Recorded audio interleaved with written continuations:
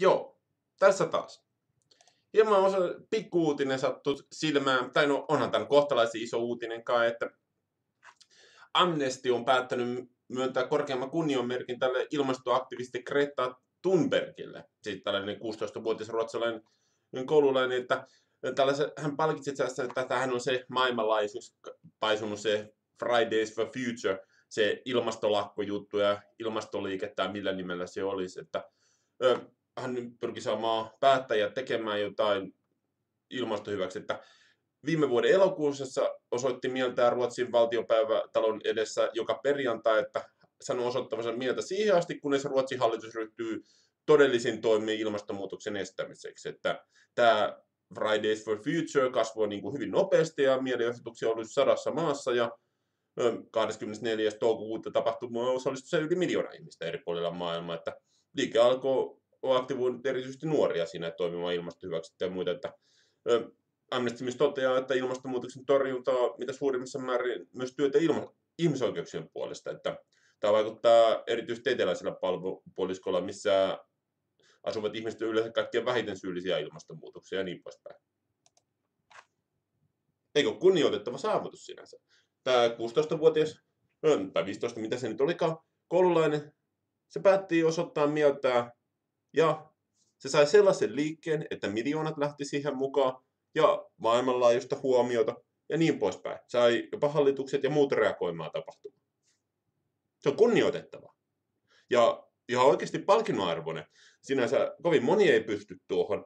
Hei, ei, ei voi sanoa, että ei ole niin kuin päämäärää ja tahtoa, että pitää tehdä asioita.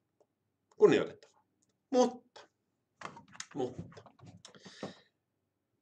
se on eri asia sitten, kun pitäisi tehdä tekoja. Ja niin kuin mä aikaisemmin tästä ilmastolakkojutusta puhuin, teot on yleensä sellaisia, että niistä tulee hyvää mie- mieltä tällaisessa ilmastolakkojutussa.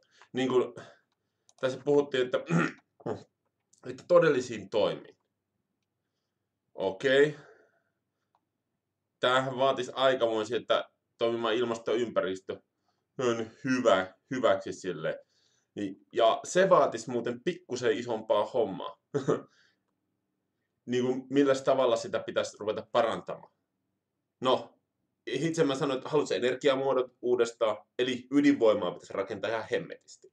Että, koska se on saasteeton ja tuo vähemmän ilmansaasteita ja otson, otsonia vahingoittamia freonia tai sitten valtavaa hiilidioksidin määrää, mikä sanotaan olevan uhka oikeasti ilmastolle. Ja samoin kaikki muu saasteet ja muut vastaavat epäpuhtaudet, mitä hemmetissä tulee. Eli se on ainoa ratkaisu, jolla pitäisi tehdä se. Eli valitettavasti vaihtoehtoiset energiamuodot ei ennätä tässä kymmenessä vuodessa tai 12, mikä jotkut sanoo oleva aika. Pitäisi rakentaa sitä ydinvoimaa. No, Olkiluoto 3 on helmetisti myrkyttänyt Suomessa, miten tämä tehdään. Katsotaan, miten nämä muut projektit lähtee. Tietysti Venäjään kannattaa suhtautua epäluulolla. Eli tämä olisi niin kuin sellainen, mitä pitäisi tehdä. Sitten pitäisi saada tämä kulutusyhteiskunta mukaan rauhoittumaan, ettei ihmiset kuluttaisi niin paljon. Okei, pistetään velanotto seis ja muuta. Mutta silloin ihmisten ostovoima katoaa. Ihmiset tulee köyhtyä ja ne suuttuu siitä, että mulla ei ole rahaa. Ja useimmat ihmiset elää aika huonossa tilanteessa jo nytten rajoilla niin sanotusti.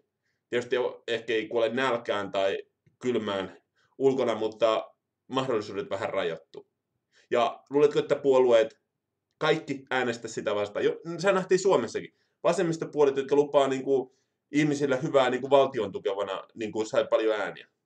Ja eikö sun kannata sitten oikeasti, että ne, jotka on rikkaat, niin ei ne nyt pysty ostamaan niin paljon, että ne oikeasti saastuttaisi tai käyttäisi niin paljon ilmastoa vahingoittavia tuotteita, että ne maapallon saisi huonosti. Koska niitä ei ole niin paljon. Mutta se olisi vaikea tehdä sellainen, koska silloin keskiluokka ja muu köyhtys niin pahasti. Eli ei mene läpi. Eli tämä on sellainen, mitä pitäisi tehdä. Ja sitten jos sä vastaavasti haluaisit saada pahimmat saastuttajat kuriin, ne on Kiina ja kehitysmaat liityt se Trumpin kauppasaartoon. Se pitäisi tehdä. Eli Trumpin kauppasota mukaan ja pakotettaisiin ne saastuttavat että, ja kehitysmaissa tai Kiinassa ja muissa kehitysmaissa, että ne poistuisi. Ja Mutta miten niille ihmisille kävisi siellä? Ne ei saa rahaa muuta, mutta ehkä ilman on helpompi hengittää. No ehkä se olisi parempi ratkaisu, mutta jokainen voi pohtia tätä kysymystä.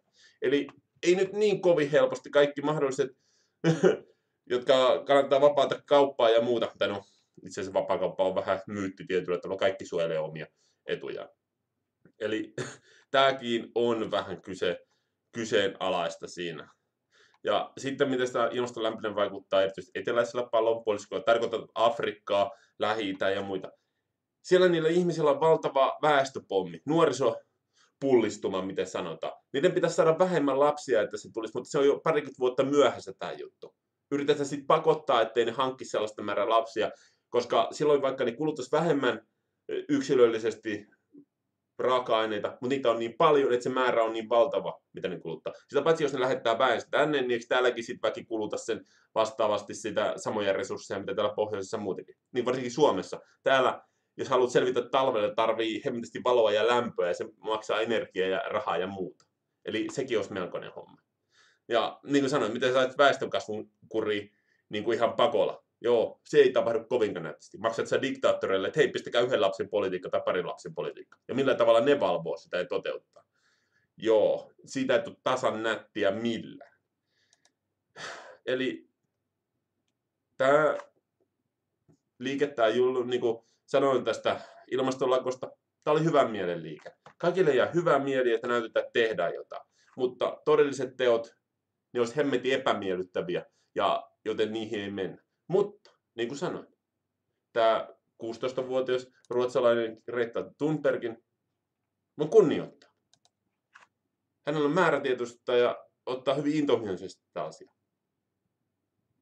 Kuinka moni tekee sille ja on niin määrätietoinen. Se on kunnioitettava.